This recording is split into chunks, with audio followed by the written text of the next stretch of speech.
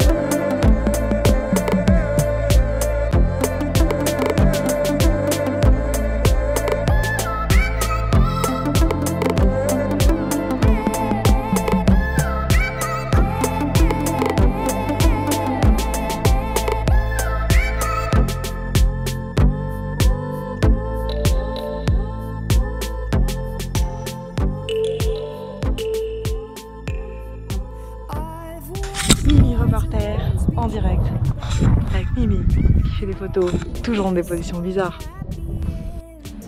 Un petit bout de Sahara à l'aéroport. C'était coincé dans ma chaussure.